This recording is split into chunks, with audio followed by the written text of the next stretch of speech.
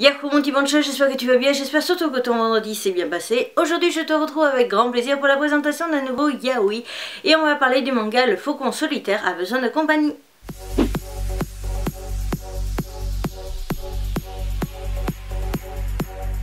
Ce manga est un one-shot des éditions Buzzer dans la collection Anna. La série est dans le genre romance étrange de vie. On est sur une œuvre qui date quand même de 2014 au Japon et de juillet 2018 en France. Oui, je sais, j'ai un petit peu de retard, désolé. Et en ce qui concerne donc la série, nous sommes sur une série qui est réellement âge conseillé 16 ans et plus. Et j'insiste vraiment sur le 16+. En ce qui concerne le mangaka, je vais t'afficher le nom à côté de moi tout simplement parce que je préfère éviter de le prononcer. Et si l'auteur a écrit autre chose de disponible en France, bien entendu, ça va s'afficher maintenant. Et sinon, s'il n'y a rien, là maintenant tout de suite, c'est qu'il n'y avait pas d'autre œuvre disponible en France. On attaque donc avec mon avis sur la qualité des couvertures. Je te dirais très clairement que j'ai eu un gros, gros, gros, enfin plutôt un méga, si on chipote sur le mot, coup de cœur euh, pour euh, la couverture et je t'avoue qu'en fait en lisant le résumé j'avais peur de tomber sur quelque chose que j'avais déjà lu parce qu'en fait ça ressemble énormément à d'autres mangas que j'ai lus au niveau des grandes lignes. Et euh, donc c'est la couverture qui a su m'achever parce que j'ai vraiment kiffé l'idée et la position des personnages.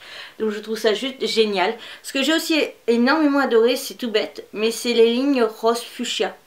En ce moment j'ai un gros délire avec cette couleur là ça fait un petit moment d'ailleurs. Et euh, j'ai vraiment adoré. Surtout que voilà, la ligne s'arrête pour nous laisser le titre. Et j'ai vraiment apprécié. Surtout qu'en fait, à l'arrière, c'est ça que j'ai aussi adoré. C'est qu'on les retrouve.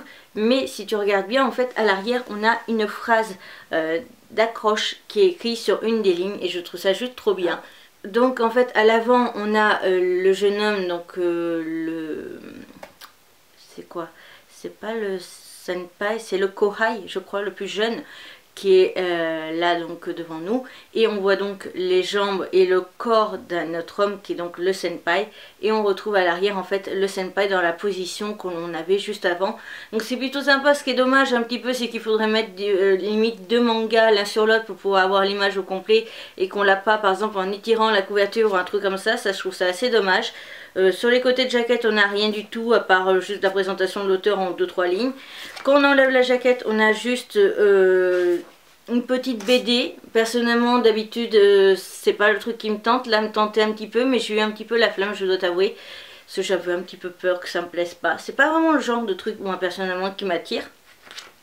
Quand on ouvre le manga, on a droit à une magnifique illustration en couleur un petit peu provocante et qui correspond tout à fait au personnage.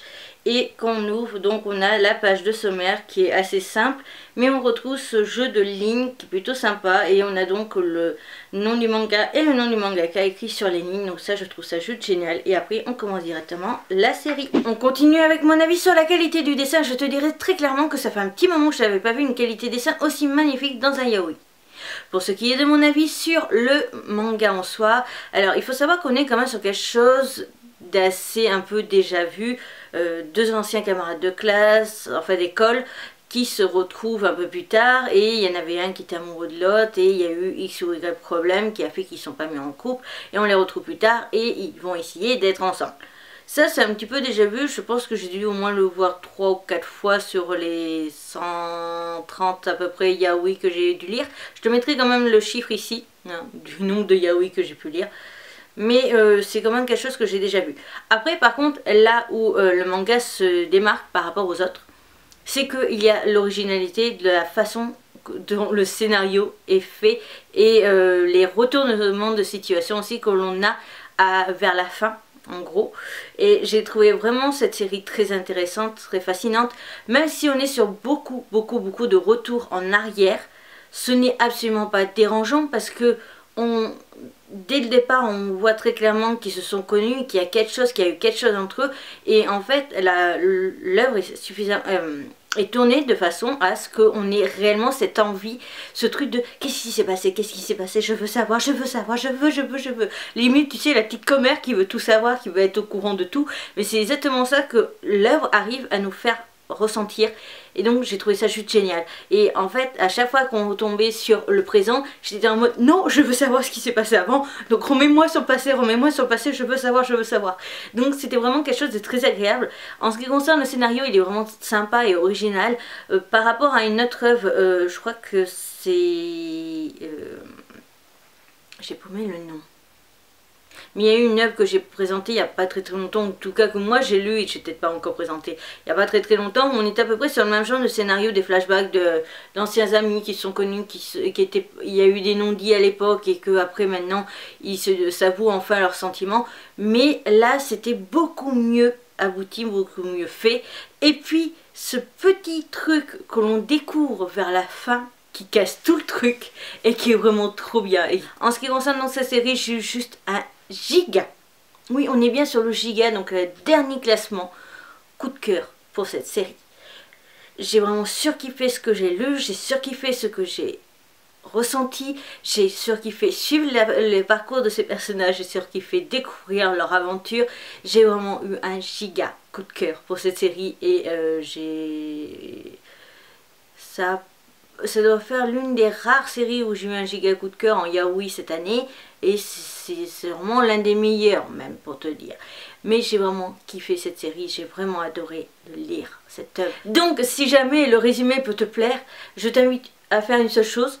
Tu mets en pause cette vidéo tu vas sur ton site Amazon, la Fnac ou même directement via Boys ce que tu veux, même peut-être via Gilbert Joseph, je pense qu'en neuf tu peux le trouver et commande-le direct, direct. Et après tu finis ma vidéo, il n'y a pas de souci, je t'en voudrais pas si t'as mis pause, mais fonce. Vraiment cette série est juste génialissime et euh, voilà.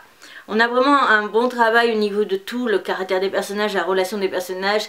On a euh, tout qui est géré à la perfection. L'histoire est sympa, l'histoire est agréable, l'histoire est quand même changeante, même si on est sur une base assez déjà vue au niveau des grandes lignes.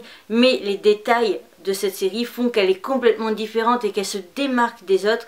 Et je peux te dire que limite, dans celle que j'ai dû lire de ce thème, c'est celle que j'ai vraiment le plus préférée. Donc vraiment, cette série est génialissime et donc je t'invite très clairement à aller l'acheter.